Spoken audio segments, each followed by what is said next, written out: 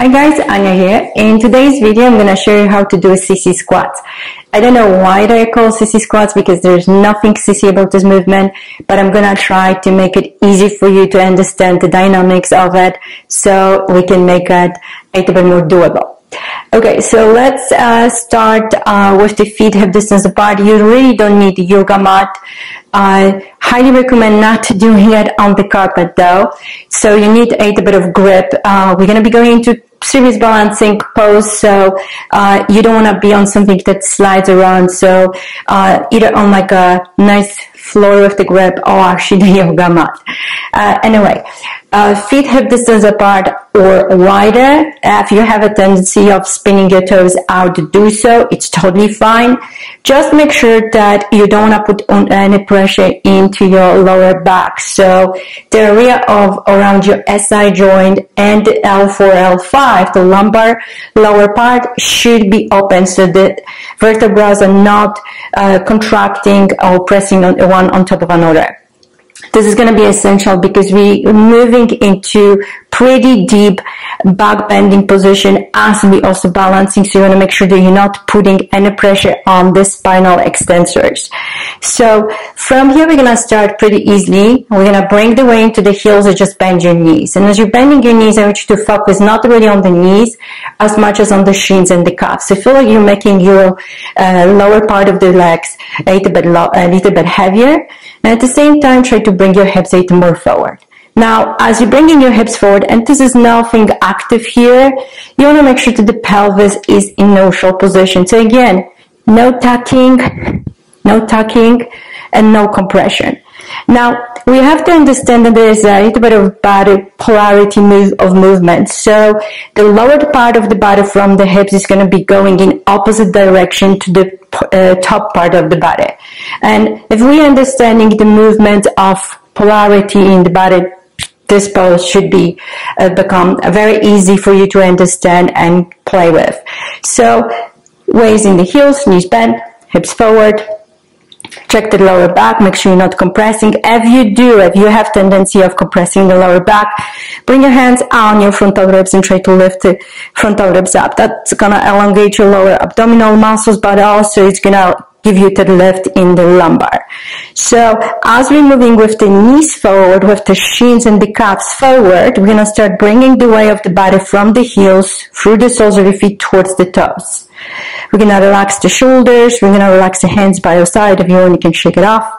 And then from here, start bringing the weight into the toes lifting the heels just maybe half inch off the floor. Now, as soon as those heels are lifting, you're going to bring your knees forward and up. And this is the action that we're going to be looking for in the legs. Forward and up. At the same time, hips are going to move forward and up. Now from here, take a nice big inhale, chin is in. Exhale, start bringing the soles of your feet down to the floor, heels down and then change positioning of the pelvis so the hips are moving back, knees back, torso is leaning forward. Right, a bit of primal movement here to shake it off and come up to neutral position in Tadasana. Let's move uh, into the same variation again. So we're gonna redistribute the weight from the heels through the soles of your feet to the toes. Lift the heels lightly up. And again, knees and hips forward and up. Now the torso is moving back and down. So as I'm lengthening my torso back, I'm gonna coil my shoulders back and down. This is pretty much what we're looking uh, at as a polarity of the movement, right? Lower part of the body is moving forward, upper part of the body is moving backwards. From here, let's come back to the primal movement, pressing the heels down, hips back, torso forward, shake it off.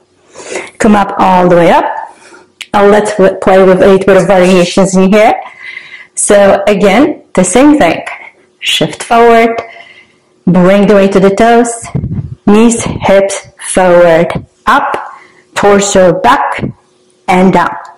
Now from here, let's start spinning the torso a little bit more to the right, relax the right shoulder, see if the right hand can tap, just tap towards the ankle. Then bring the hand against the hip, push it back, primal movement, and up to standing. Shake it off. Let's try the other side. So again, forward and up, back and down. Turn your torso to the left. See if the left hand can tap, just up towards the left ankle or left heel. Come up all the way up. And again, primal position to shake it off come up to neutral. And this time, let's try to play with tapping your both hands towards the both heels of both ankles. Eventually, you're gonna try to go and hold for these couple of breaths in each movement. I just wanna show you the variations that you can uh, take as a tip and just play with. Okay, so let's do it again. Shift forward, hips forward and up, shoulders back and down. Relax your hands, relax your arms. See if you can push the hips so far forward and get tap towards the heels. And then slowly come up all the way up. Primal position. Shake it off. Slow motion from your roll up to standing. Thank you so much guys for watching.